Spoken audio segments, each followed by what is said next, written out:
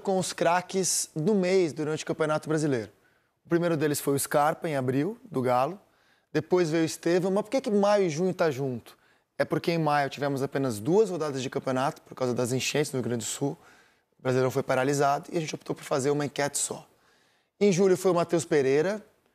Em agosto foi o Thiago Silva. Né? Com ele o Fluminense não perdia, dava uma grande arrancada. É, é só Campeonato Brasileiro. Aí, em setembro, foi o Alan Patrick, já representando o que era o renascimento colorado na temporada. E cristalizando esse renascimento, o Bernabé em outubro, o grande jogador do mês do Campeonato Brasileiro. E agora a gente vai eleger o do mês de novembro. E como as rodadas de dezembro são tão decisivas, apesar de serem só duas, terá também o craque do mês de dezembro.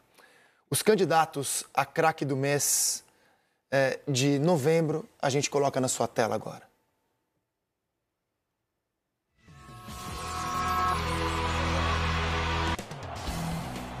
Rafael Veiga disputou os seguintes jogos: contra o Corinthians, contra o Grêmio, contra o Palmeiras, quando marca gol e a seleção da rodada, perdão, contra o Bahia, contra o Atlético Goianiense, quando marca o gol da vitória e a seleção da rodada, e contra o Botafogo.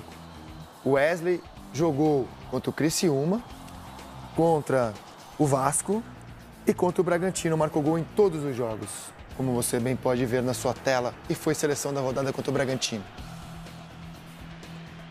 O Garro, que é o próximo candidato, jogou contra o Palmeiras, gol e assistência, seleção da rodada e craque da rodada.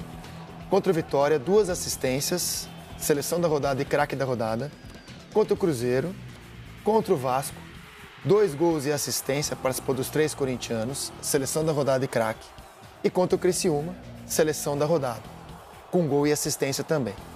Desempenho extraordinário do argentino. O mês dele é extraordinário.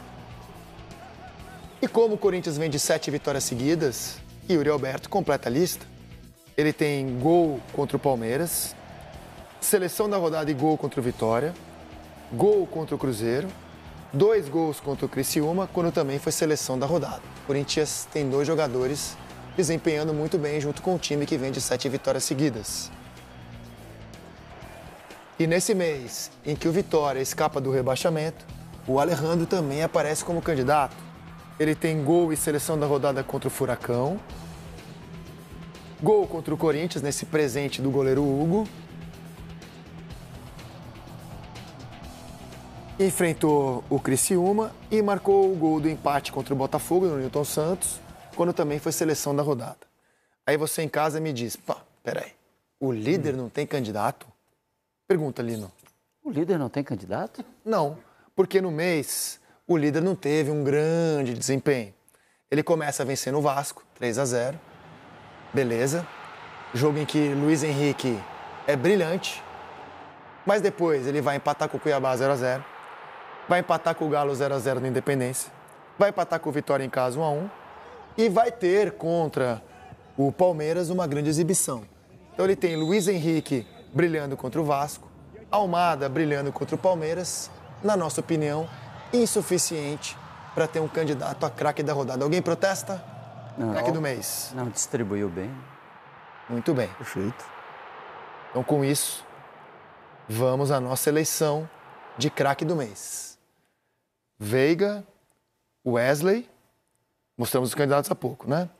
Pode ir passando de novo enquanto eles decidem. Veiga, Wesley, Garro, Yuri Alberto e Alejandro. Parece que a gente vai passando aquelas imagens todas enquanto a mesa vai se decidindo. Alguém aqui já tem um voto para dar? Eu tenho. Tá? Diga, Coutinho. Rodrigo Garro, para mim é o jogador é, do mês. 10 participações em gols em 5 jogos. Uhum.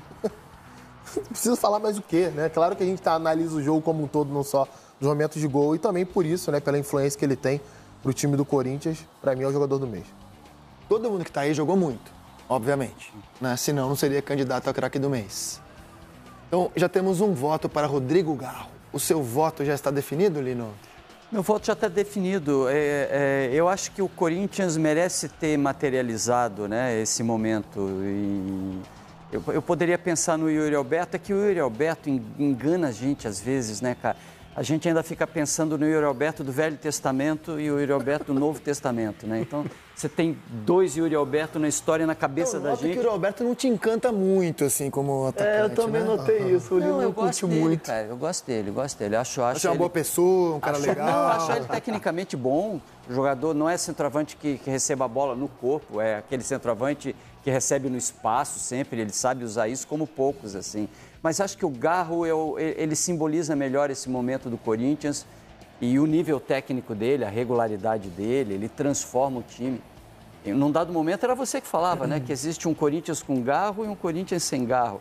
Sim. E é verdade ainda. Quando você queria saber se tinha time misto ou não, time reserva ou não, era só ver se o Garro estava jogando. O time que tinha o Garro era o time titular. É, ele simboliza essa fase do Corinthians, cara. Acho que é ele. sim. É, eu, eu eu- esse mesmo agora que está passando na imagem, eu acho assim, o Alejandro é um jogador que merece muito reconhecimento, né? A gente sabe que jogar na parte de baixo da tabela, muitos deram vitória como rebaixado já, né? E o Carpini também, a gente tem que falar o trabalho de recuperação que faz o Carpini. Sempre quando eu falo de vitória, eu toco no nome desse técnico. Eu acho que ele foi muito importante nessa recuperação, né?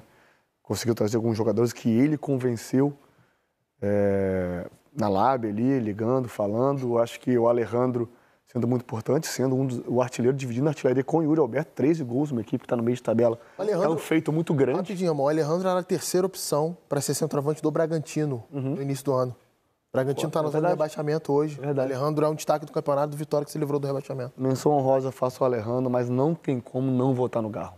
Por tudo que joga, por carregar esse meio de campo nas costas do Corinthians. Ele está fazendo todo mundo jogar. Essa fase do, do Alberto se passa também pelo abastecimento e pelas bolas que o Garro dá para o Yuri Alberto, coloca na, na frente do gol. Então, craque para mim, Garro. De forma unânime, então, esse painel que tem Scarpa, Estevam, Matheus Pereira, Thiago Silva, Alan Patrick, Bernabei, terá o Garro em novembro e a gente, na semana que vem, define o craque do mês de dezembro. Agora a gente elege o gol do mês de novembro.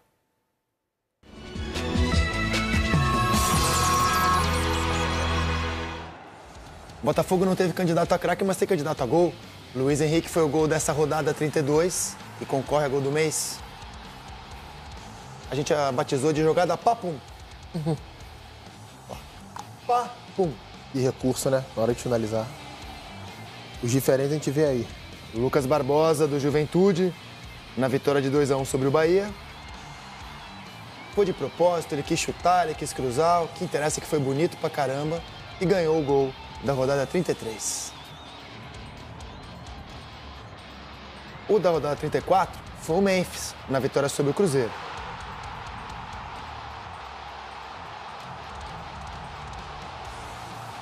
O jogo foi disputado às 11 da manhã. O Memphis disse que nunca tinha jogado às 11 da manhã na vida dele.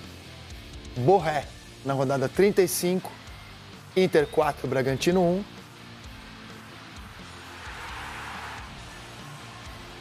E nesta mesma rodada, a gente selecionou o golaço do Matheus Pereira, porque ele tinha ficado fora da enquete.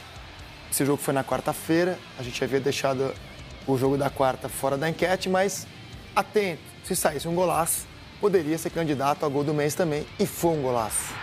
Né? Matheus Pereira no empate de 1 a 1 com o Grêmio, com assistência do Gabriel Verón. Já tem o voto? Definido?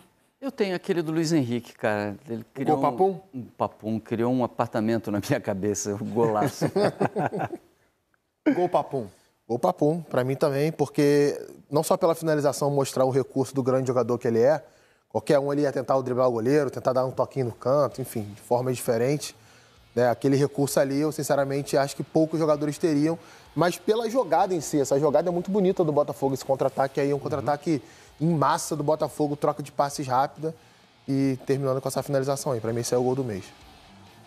Eu tô na dúvida.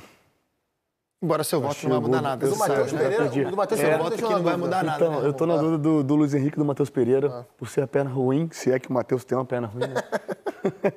Mas eu vou de Luiz Henrique, tô com vocês, meus amigos, unânime. É, o recurso que ele usou foi uma coisa incrível. E toda a jogada em si, eu tava nesse jogo até, eu até falei na transmissão que foi um gol de rachão, né? Esse papão dele, assim, e golaço, Luiz Henrique. Luiz Henrique, duas eleições unânimes aqui, hein? duas eleições unânimes. E com essa unanimidade, a gente fecha a seleção de hoje. Obrigado, Ramon. Obrigado. Grande abraço, Até meu velho. sexta-feira, meu amigo. Até sexta-feira.